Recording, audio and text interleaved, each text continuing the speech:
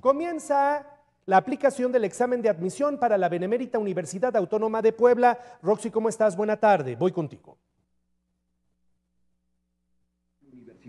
Así es, Juan Carlos, hoy lunes 27 de mayo inicia el examen de admisión 2024 de la Benemérita Universidad Autónoma de Puebla, un día importante para la comunidad universitaria aquí en nuestra ciudad. Este año la UAB ha designado dos sedes para la aplicación de esta prueba.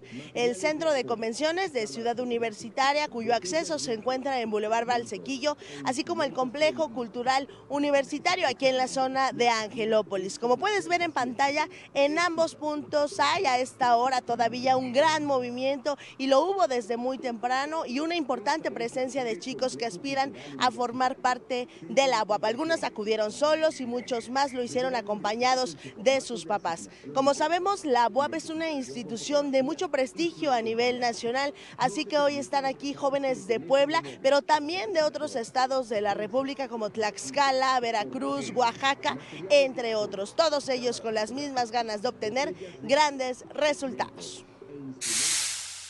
Te postulo para la carrera de imagenología.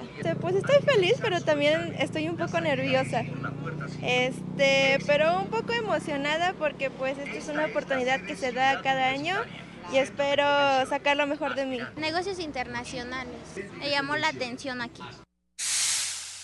Juan Carlos, ahí lo tienes. Hoy la prueba se aplicó en tres diferentes turnos. A esta hora ya están saliendo aproximadamente los chicos que hicieron el examen en el segundo turno y todavía falta el de las 3 de la tarde. Así que estaremos muy al pendiente también de estos resultados que, por cierto, van a ser publicados el próximo 13 de julio. Les deseamos muchísima suerte a todos los aspirantes que este año, por cierto, serán más de 70 mil los que están buscando un lugar aquí en la Benemérita Universidad Autónoma de Que sea una excelente semana para todos, Juan Carlos. Vuelvo contigo.